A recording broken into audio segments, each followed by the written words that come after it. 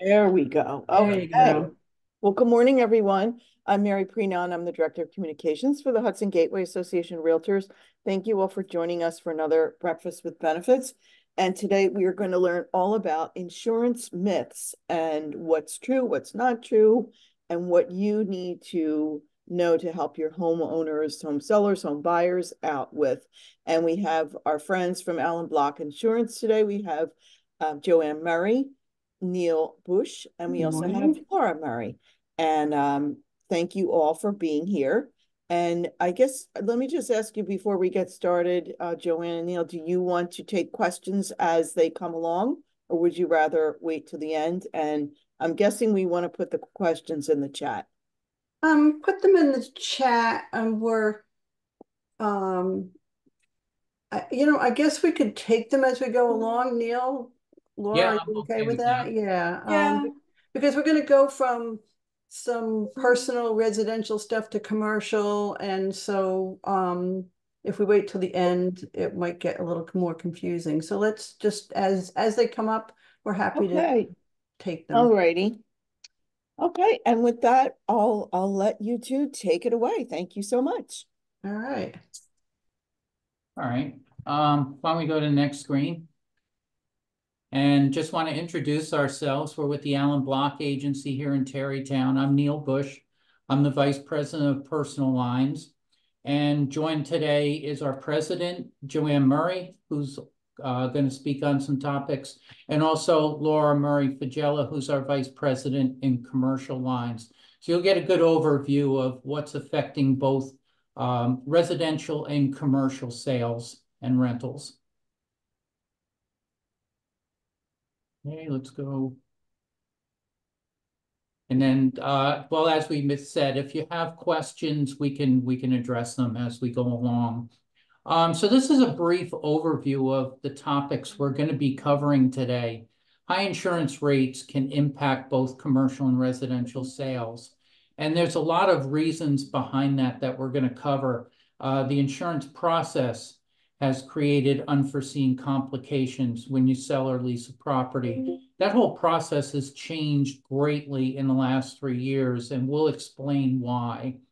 Um, insurance rates have been skyrocketing, and many insurance companies have become more risk averse, either by tightening eligibility and making it more restrictive, or some companies have even pulled out of the marketplace, leaving fewer uh, selections when it comes to um, uh, quoting different policies.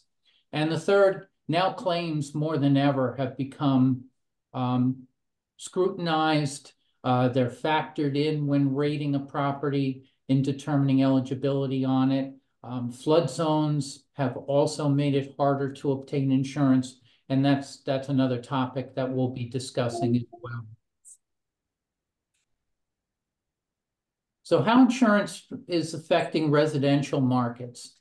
So a brief synopsis of why rates are going up and why we've seen um, some more than, than more rate increases and consistent rate increases. There have been changes in weather patterns that have been creating more frequent and more severe storms. I've lived in Westchester all my life, and when Storm Ida came through in 2021, I don't think I've ever seen water accumulate that quickly in this county. And more properties have flooded, more people had damages to the exterior and, and the interior, their basements. Um, and that's just one example. National Weather Service now designates hurricane season from June 1st to November 30th. Who would think that in around Thanksgiving, we'd be worried about a possibility of us hurricane hitting the East Coast down, say, in Florida, and maybe even making its way up here, which is what has happened both with Storm Sandy. Ida came from uh, the, the Gulf area, uh, Louisiana, Mississippi. So that's the changes in weather patterns are a big reason why why rates have gone up over the past few years. Materials to rebuild the homes, the costs have gone up. And they've gone up for many reasons, supply chain issues, there's shortages, there's thing, there's uh back orders on uh supplies. Go into the Home Depot these days and see what a piece of sheet rock or plywood will run, and it'll give you an idea. Um, building a home in Westchester today, especially if it has some custom items, can can really cost quite a bit, anywhere from 500 to a thousand dollars a square foot in some areas. Uh, the increased costs and longer time frames to settle the claims. These supply chain issues may take it longer to settle the claim or repair damage from these, uh, from storm damage or other types of claims. Changes to the reinsurance market, which I'll just briefly touch on. Um, reinsurance costs, which is the cost that an insurance company pays a, um, a company to essentially provide coverage for them have gone up greatly. And moratoriums, this is, and this is big, especially in some of the coastal areas, Long Island, uh, along the shore in Mamaroneck.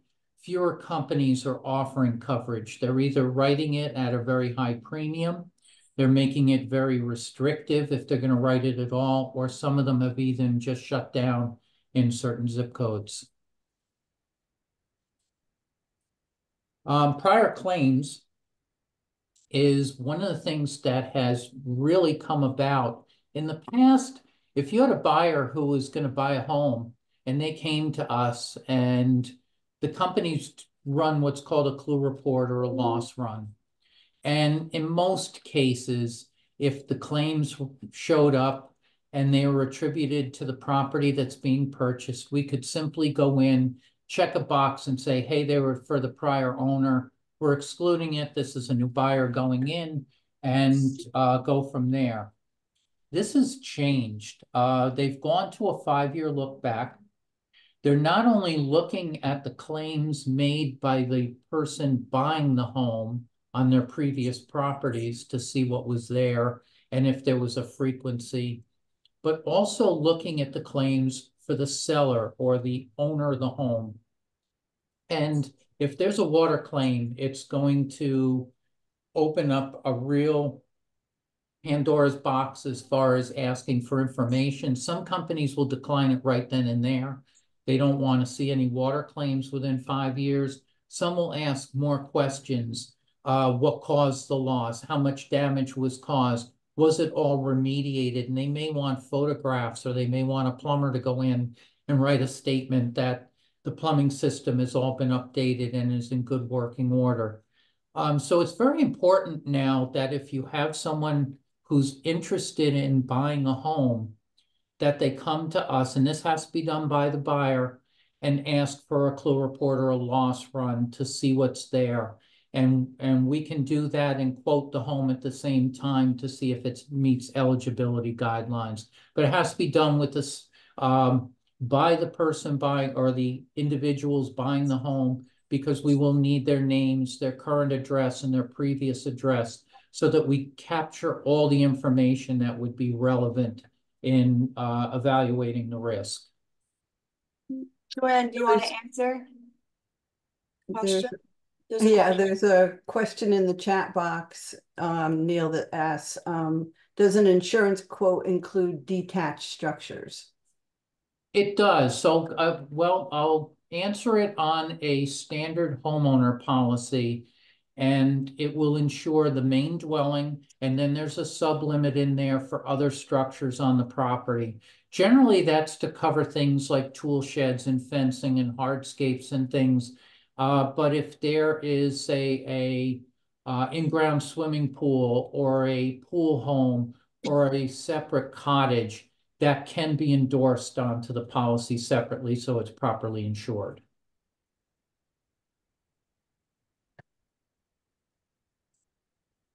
So why companies are declining risks? And we get phone calls on these all the time. The main one we're seeing right now is the roof age. Um, people who are buying homes generally have an inspector come in and they're they're going to go up and they'll look at the the shingles and all and they'll um, if they're doing their due diligence, we'll put a stamp of approval on the roof. But if the company goes out there and they can, there's so much information available these days, They use drones to fly over the roof. They use aerial photography. And they can also look back at the town to see when permits were applied for to replace a roof. And if it's over twenty years old, there are companies that basically, it could be pristine and they will not accept it. So roof age is becoming more and more of a thorn in everyone's side, even if it's in great shape. Um, and I'm talking about a roof that's asphalt, yeah, architectural shingles, that type of a roof. Slate is a different story, and there's, and I'll cover that briefly. But there are mm-hmm. some companies that have even decreased the age of the roof that they'll look at. We have one that will not write a policy for a roof over fifteen years. And we had one recently come in and say they will only go back ten years. So it's very important that this information is captured when someone's looking at a house and get some type of verification as to roof age. Slate is different. They look at the condition of the tiles and make sure that they're all in good order, and they make sure that it's been, with a slate roof, it gets serviced from time to time, and they want to make sure that it's been well maintained. So roofing material does matter. Um, flat roofs, there's very limited markets for, uh, so that's very important to check that out. Flat roofs can either be on your older homes built in the eighteen hundreds, like we have here in Tarrytown and Sleepy Hollow, or they can be your more modern designs, uh, your Frank Lloyd Wright type homes up in Pleasantville and Chappaqua and things. So it is important to ask that question when shopping for insurance. I mentioned that satellite imagery is used for aerial views. Um, more and more companies are being hired by the insurance companies that use drones. And now there's even a program that's built in that will give a percentage of the trees overhanging the dwelling. They want to make sure that trees don't fall on the house and that large branches can't come down. So they will look at that as well. Um, you could have this really beautifully landscaped property with overhanging trees. And if the trees are old and a large percentage is overhanging the home, a company may require it to be cut back. Uh, moss growth is another thing that has become prevalent. They look at discoloration on the on the asphalt shingles. They look for the moss growth.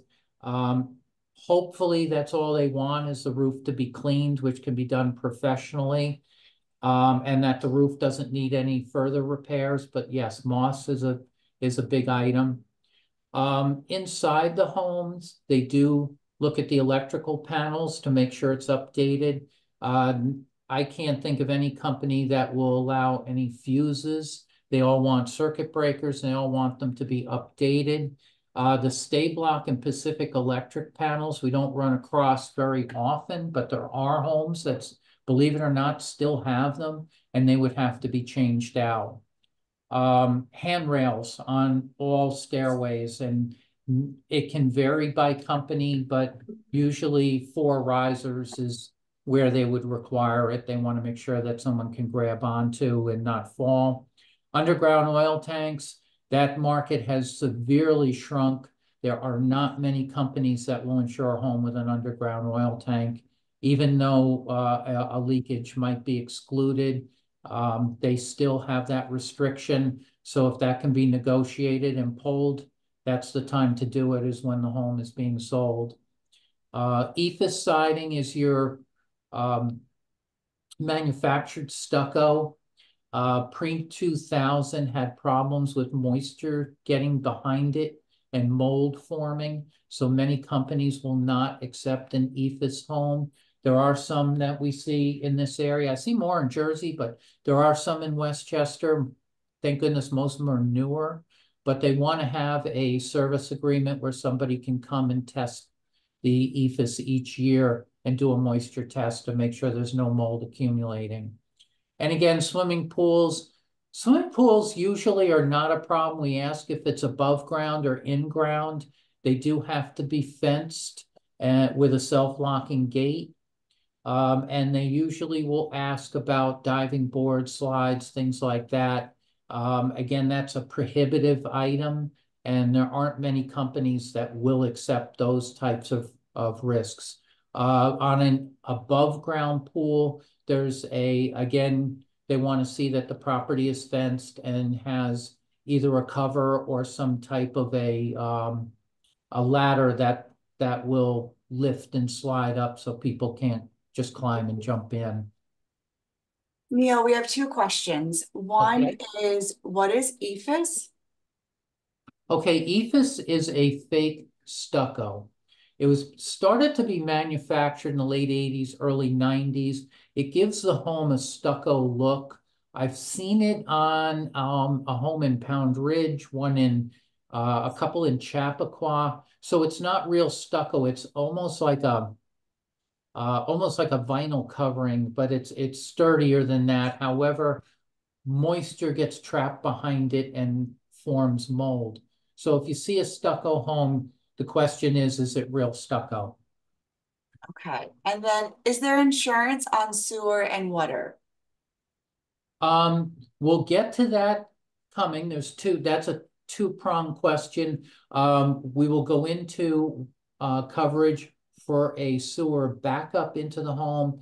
And then there is a endorsement that many companies are offering these days called uh buried utility lines, which will cover excavation if a sewer line needs to be replaced because it's not operative and there's an interruption in service. Okay, thank you. Okay. And uh, I'll turn it on to, I'm going to turn this over to Joanne Murray, our president, who's going to go over the next section of our presentation. So Neil touched on, you know, why companies are declining risk, which is probably our biggest challenge right now. I, I will tell you that daily, not only are we struggling with new homes that you come to us that people are buying, but existing homes that companies are non-renewing. Um, and so it, it's kind of scary for us. So I, I have to tell you, in in 40 years, I've never seen this. This is this is the worst I've ever seen. So, um, so some of the things he touched on are, are very important. Um, people need to really maintain their properties. That's probably the most important message we can get out. Um, but some of the eligibility factors um, that that wrap around safety and security um, affect the eligibility as well. And sump pumps um, are, are an issue. And believe it or not, you you might look at a home with a sump pump and say, oh, that's a good thing because it's going to help keep the water out. But the insurance companies look at it as um, it's a scary thing because if the sump pump fails, if um, the the water that's coming in is it can't handle it, if there isn't a battery backup, if there if it isn't hooked up to a generator, then it won't work. And so it scares the insurance companies. And so they've become much more diligent about asking questions about sump pumps. And they must have a battery backup or be hooked up to a generator because otherwise, if the electricity goes out, your sump pumps of no value. So that that's mandatory now. Homes over a million dollars, they have to have a central station burglar and fire alarm. There's just no getting around that anymore. Um, that's a requirement. And I would say in most cases, we see people that that's not a problem. Most people have that. And with the new ring um, security systems, um, people are much more inclined to even put them in because they can do them themselves. Um, water leak detection is huge because water losses is probably one of the primary losses that insurance companies have now. So they're requiring um, water shutoff valves in secondary homes. Um, it actually, I have to tell you, I think it's a good thing. Uh, I, you know, sometimes people resist it, but if you have a secondary home, when you're not there, you have no idea what could be happening. And the last thing you want is when you go to open it up, find out that a pipe froze and broke and and that the, the water is running everywhere. So, you know, putting in a water shutoff valve in a secondary home really makes a lot of sense. And there's the Moen Flo um, alarms, and there, there actually are, are multiple ones. The water leak detection is a little different in that the water leak detection is going to tell you that there's water leaking somewhere in your home. It doesn't shut it off, but it lets you know. And um, you know, there, there are many, you can buy those in Home Depot, you can hook them up yourself. Um, you know, I, I'm, I'm all for putting those in now. There, it's, it's just really interesting that um, there are so many ways that we can protect our homes from loss. And the last thing you want, believe me, is a water loss. It is, there is nothing worse than, you know, pulling up soggy carpeting and buckled um, plywood and wood. Um, it, it's just a horrible thing to go through. So those water leak detection um, products are really worth looking into. Um, prior water claims, they, they, they will require the water shutoff valve. So if anyone has had a prior claim and it was a water loss, the company is going to require the shutoff valve. Um, as Neil said, it used to be that if the claim belonged to the person selling the house, the person buying the house, we didn't have to worry about. We just wrote the insurance. No longer is that the case. Now they're looking at there was a loss there and they're penalizing the buyer as well. So um, we want to make sure that we have um, whatever products are available to make sure that the house is going to be eligible for insurance. Okay, we have a few questions that come in. Okay. Um, when you, this I think goes back to Neil, but when you say engineer, do you mean licensed home inspector or is engineer different? Um, well, licensed home inspector is going to be the one doing the home. In some cases, they are engineers. So, um, on, it depends on the company. It depends on what needs to be looked at. Um, when it comes to roofs, they usually want a licensed um, and insured roofer to take a look at them. Um, when it comes to other things, uh, you might need an engineer or you might need just a plumber to come in and do it. So it's all, that's why we're here. So that depending upon what needs to be looked at and what needs to be verified, um, you know, we can help guide you. But on, on an initial purchase where you're having a home looked at, a licensed home inspector is a good start. And as mentioned, some of them are engineers, and those are the ones that can really get into the nitty gritty of the house for you. Okay, um, does the insurance company check the home every year? Uh, no. No, Th- no, Thank God, thank God they don't. Um, they usually check the home when you first buy it, and they, they have to do that within sixty days. And then, um, after that, every three years, every five years, um, and then it depends on the size of the home, the age of the home. And if you have a claim, that might prompt them to go out there and, um, and do an inspection if it's been a while. But I, I would say we see it maybe every five years and mostly on larger homes or older homes. How far back does insurance company go for claims? And are clue reports available to the public? They go back five years now. Used to be three, but now it's five. It's even five for auto insurance claims. Um, and clue repo- reports are not available to the public. Um, they're only available if you're applying for insurance. Um, and as Neil said, we need the name of the the person buying the home. And they, they don't have to have committed to the home. They can be calling for a quote and say, you know, I want an idea for my budget, whether I'm going to buy this home or not. And when we put their name, their current address in and their date of birth, that will um, allow us to access a clue report for the house that they're thinking of buying. Okay, and then sump pump electrical backup with a question mark, so maybe just some explanation of what that means. Um, You say it has to hmm, be well, Back okay. up to a generator or a backup battery, you said? Um, sump pump has to be hooked up to a battery so that it will work when the electricity goes out. Um, and you can also hook it up to a generator. So it has to be, it can't, you, you can put sump pumps in and if you, and they'll, you know, they'll run on their own. But if, if the electricity goes out, then it's of no value. So it has to be, ba- you know, backed up with a battery or a generator. Okay, that's it for now. All right, so let's talk about renovations. As we all know, the um, inventory of homes is a is a lot smaller than it used to be, and there are a lot of homes that are that need work when people buy them, and um, and sellers reluctant to do anything because they know people want homes, so they're saying, "Hey, somebody wants a new kitchen, let them put the new kitchen in. I'm not going to do it."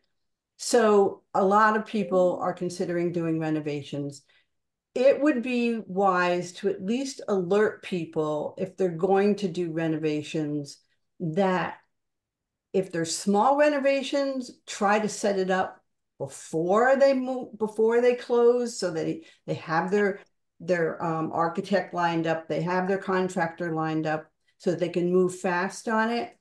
Because as I said before, the companies have 60 days to do their inspection, and they're going to be there right away. If the house is vacant or unoccupied, they're going to get off of the risk. If they're going to do major renovations, they're going to get off the risk. So we're we're advising people please move in move in and then consider your renovations after that 60 days is up once the 60 days is up the insurance company is on that risk for three years so you know, get through that 60 day period where the insurance company can say, we don't want you. If you're doing renovations, um, you still may need to, to add a, um, you know, course of construction endorsement to the policy. And if they're major renovations, then the insurance company is going to push you to go for a builder's risk policy. So those are all conversations we can have with the with the buyer and and discuss with them and, and give them their options. And, um, you know, we do have access to builder's risk and some of our companies even, um, you know, will stay on the risk and, and add an endorsement to the policy. So it all depends on what you're doing. Um, make sure that, you know, you have a general contractor doing the work. Um, it's really best that you're not doing it yourself, that you get a, a general contractor to do it. Get a certificate of insurance from the contractor that names you as an additional insured. And, um, you know, again, try to contact the contractors um, prior to closing so that you're ready to go. Um, and please move in because that's just a difficult one if you don't. All right, let's see. Fun. Flood insurance. Okay, let's talk a little bit about flood insurance. Um, as we all know, we've had historical uh, rainfall. If you remember, July of 2023, Highland Falls was devastated with with just rain that just did not stop. And most of those people, they they were not in flood zones. And an X zone is is doesn't require you to have flood insurance. The the banks don't require it and now all of a sudden you've got flood damage, your homeowner policy says, mm-mm, flood flood's excluded, we're not covering it. And you know, you have no no no recourse except to go to FEMA and get some loans to try to repair the damage. Um, you know, climate change is is affecting everything. And um, I, I try to encourage people to buy flood insurance at least for the first year or so so that they know um, the, how the water flows around them when when we get rain.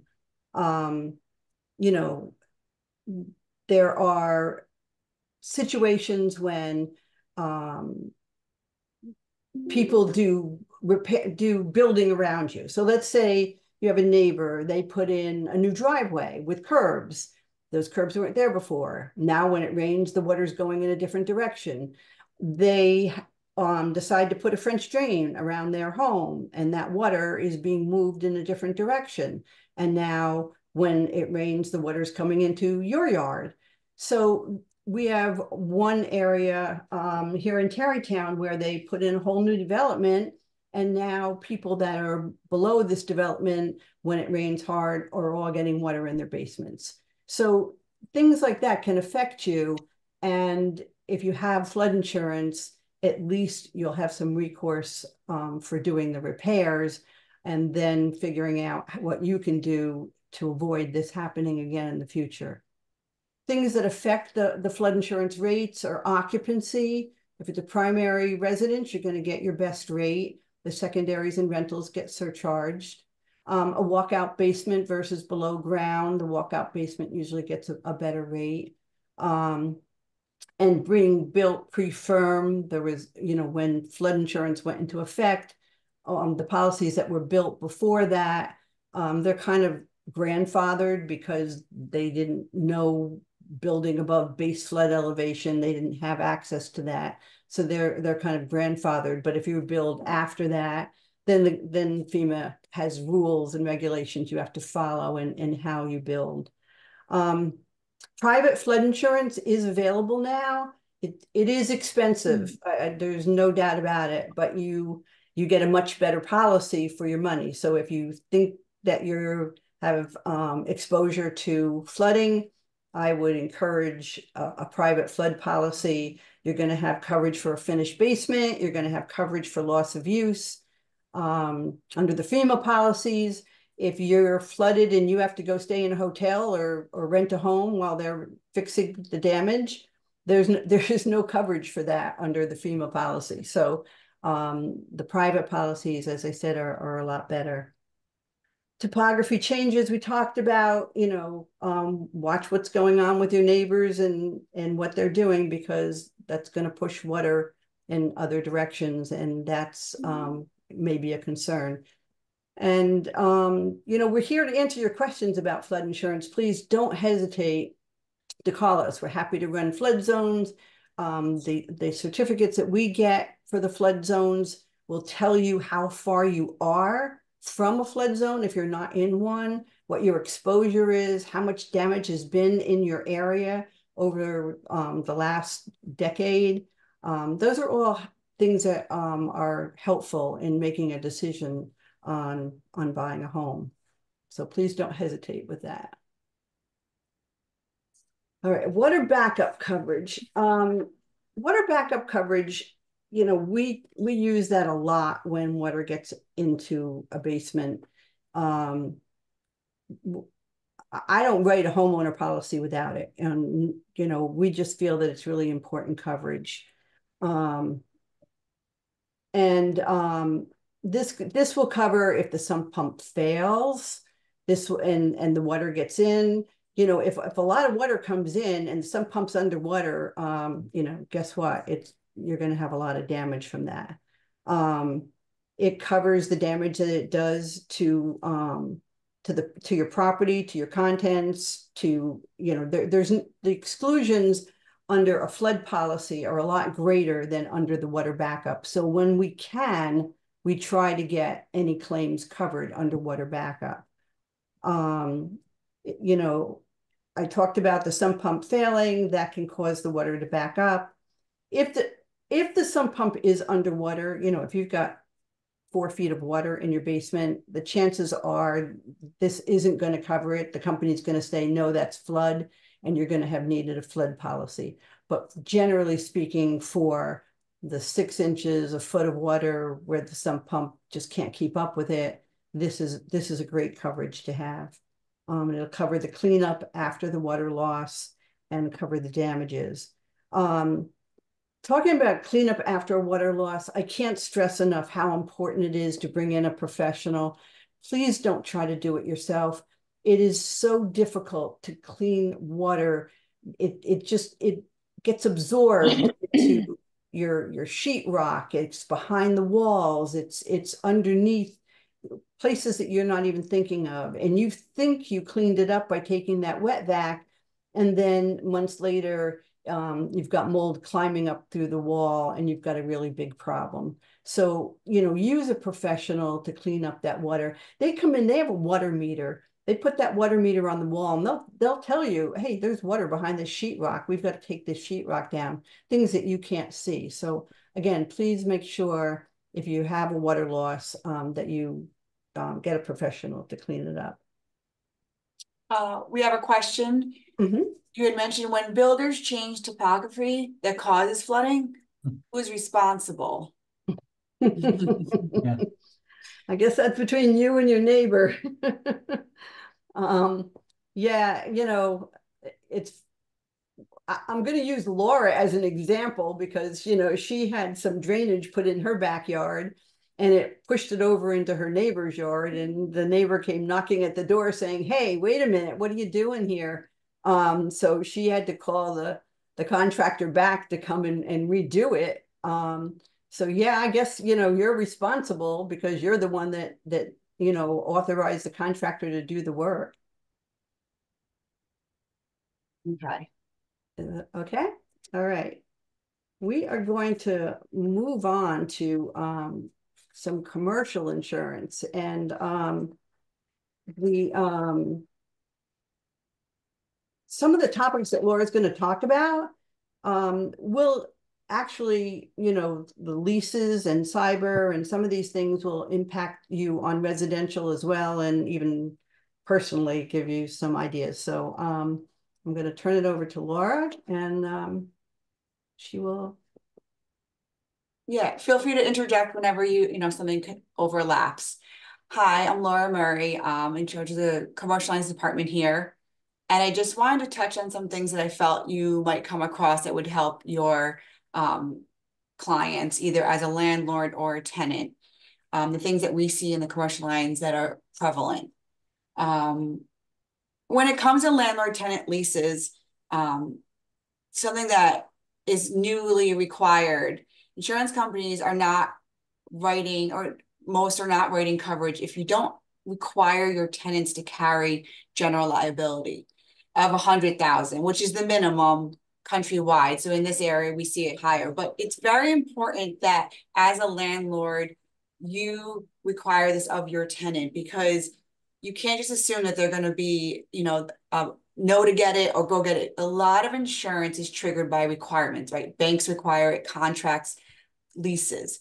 So as a landlord, it's very important to just put it in there so the tenant's like, oh, okay, I need to get this. Let me make sure I have the coverage. And it's a way to protect you. You know, as a landlord owning a property, you're bringing in maybe multiple tenants. Um, the you need to risk transfer. The responsibility should be on tenants when it is their responsibility, and the insurance policy is the way to help have something there to respond.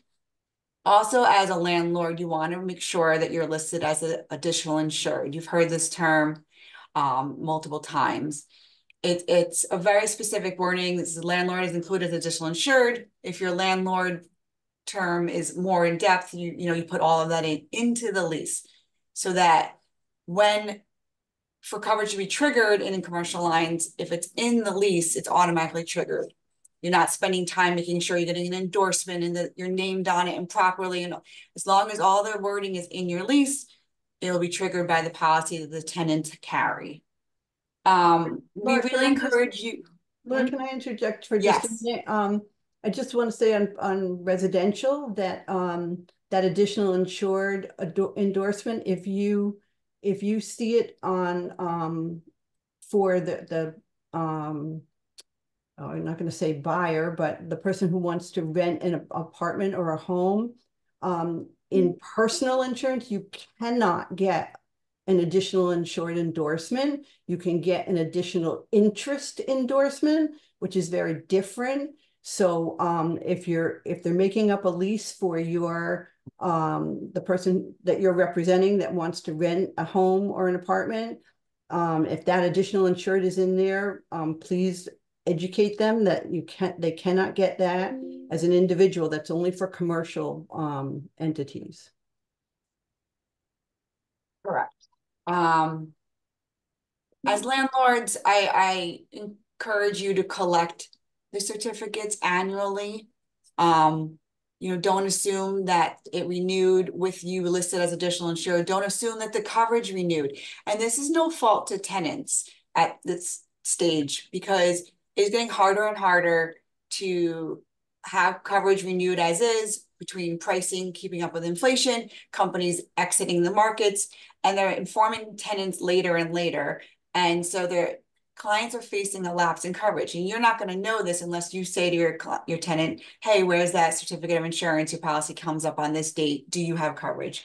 So annually, please ask for a certificate from your tenant.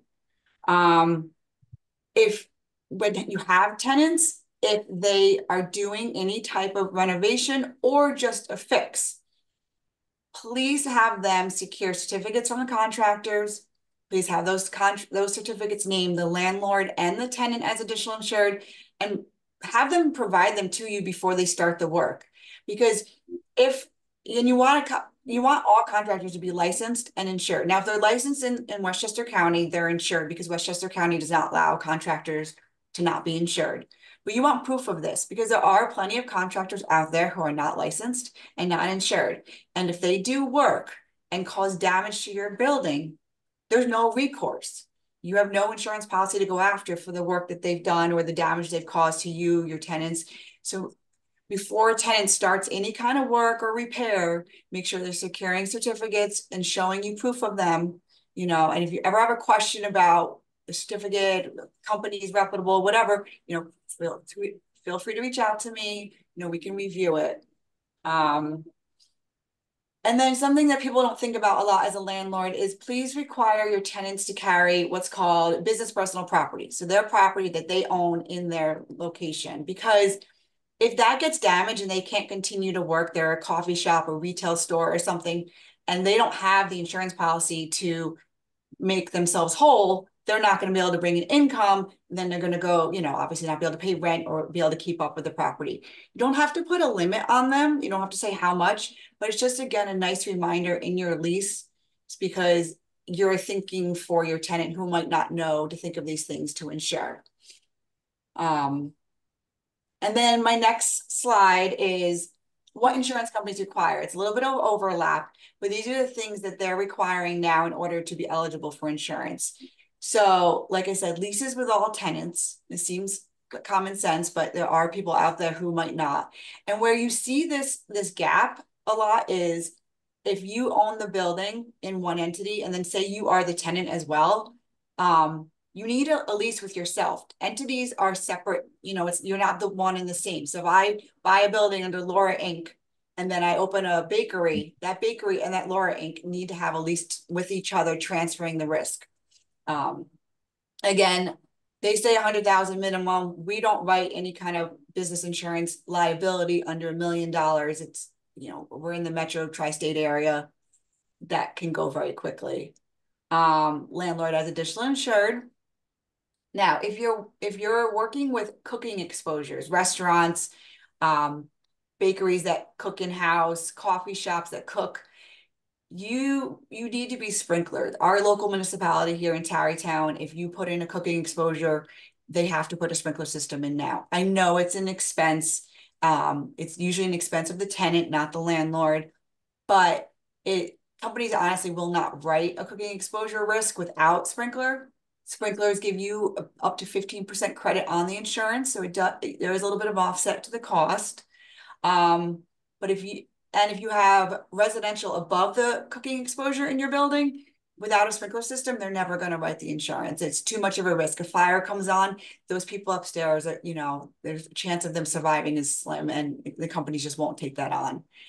Um, buildings over two stories need two means of egress, two ways to get out. And while this is important on older structures when they might have been grandfathered in and didn't have to have this, if you go to write the policy today, the insurance company is going to come out and inspect, and there's not another way out with three stories and above. If they aren't have another way to get out, fire escape something, they're not going to write it. Uh, the theory is you can jump out of two stories and still survive. I, I guess from three stories, they decided that's where you need another way besides jumping out of the window.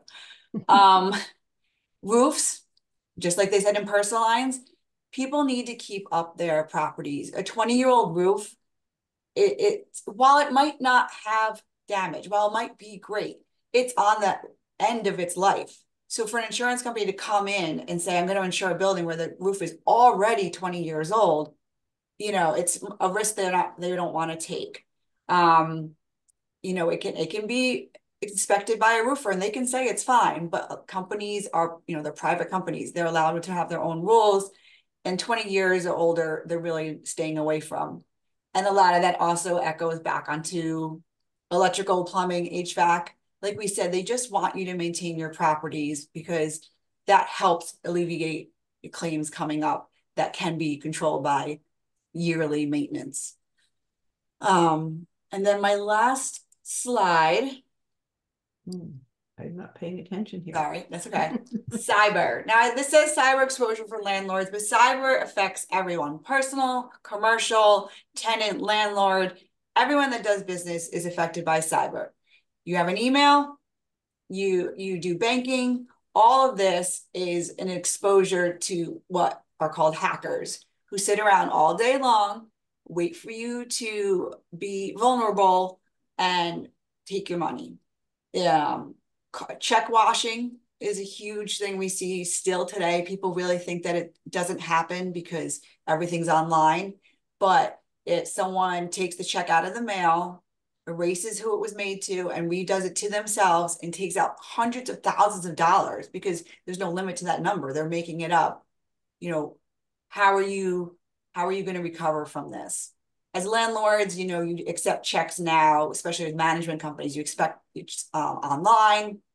Um, a lot of people use like email links. And what they do is they spoof your email, send an email to your tenant, to your vendor, whoever, say, oh, you need to make this payment. And you said, oh, let me just use this link, no big deal.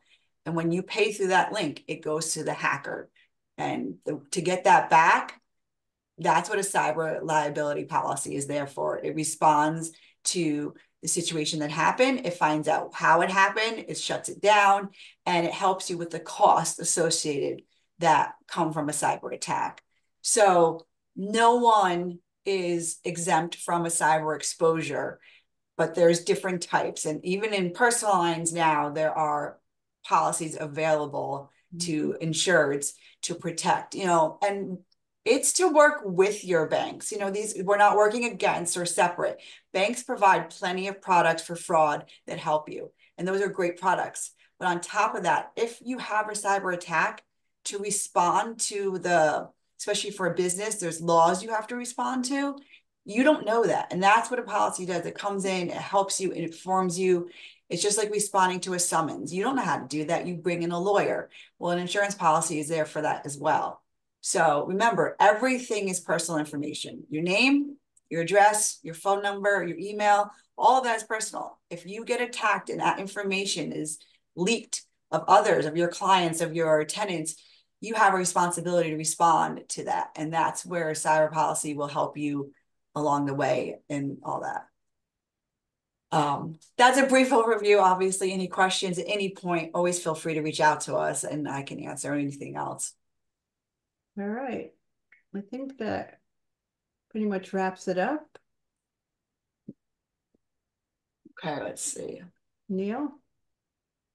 Hey, um, so just wrapping things up, um, now more than ever, your clients need an insurance agent. As you could see, there's a lot of obstacles that can get in the way. Uh, there's a lot of information out there that needs to be gone over and, and we can help answer any questions they have. Because working with an agent means they'll have someone on their side to help them make sense of their options and getting the right coverage for their individual needs. We're an independent agency, so we represent about a dozen insurance carriers. So it allows us to find the best coverage for them and try to work within their budget at the same time, but also advocate for things or correct information that may be not not correct and have a somebody to go to the company on their behalf. Okay, we have two more uh statement and a question. Um, and I agree. It seems like insurance companies have a plethora of requirements, criteria, eligibility, and no wonder homeowners can't afford policies, especially with these current economic times. And we we understand that. We agree that the more eligibility and the way the insurance companies change, it gets harder and harder. But that's the importance of an independent agent as ourselves. We're here to help you and walk you through those steps. Um, and then we never answered the question about sewer and water coverage. Um, I know we touched on it, so if I'm not sure specifically what the um else you had on it. If you want to reach out to us individually, give us a call about it or write more into the chat so that we can answer it. Um, I guess we can, I could say, you know, you're asking, is there insurance on sewer and water coverage? So if you're asking if there's coverage for the pipes that go from the house to the road, yes, um, some companies sell it. Um, not all, so you'd have to check with your company. Um, if you're asking about the water backup, again, you have to specifically buy that coverage. That doesn't come with every policy. Um, if if you have other questions about it, I'm we're more than happy to answer it. All right. Yes. All right. Any other questions? Oh, They're have- gonna reach out to us. That's so- good. okay. Now, I'll be glad to, to have a conversation. All All right. right. Wait, Um, um, just one more. Okay. Okay, did you cover slate roofs? There was a discussion of asphalt roofing. Um, we briefly touched upon it. Slate roofs are completely different and not subject to the same age restrictions. What companies look at with the slate roof, because a slate roof doesn't get replaced every, every twenty years or so. It, they want to make sure that the slate roof is maintained. They want to make sure the shingles are in good order, that they're not full of moss and growth discoloration, and they want to make sure any of the loose or cracked ones are replaced.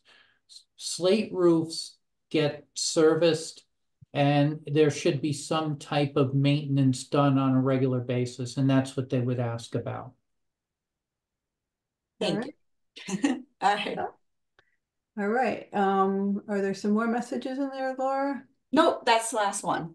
All right. Oh, wait. Thank wait. you, everyone. It was really an informative presentation, and like I said, we'll be um sending the recording out either later today or tomorrow for everyone. So um thank you, Joanne, Neil, and Okay. Laura, and Welcome. thank you all for joining us. And um we will see you the next, I think we have a um believe it's next Tuesday. There is another uh breakfast with benefits. This is one is with Citibank and talking about what's ahead for the twenty twenty-four economy. So that should be very interesting as well. Good So. Thank you all again. Thank you, everyone. Thank you, everyone. Have a good day. Bye-bye. Bye.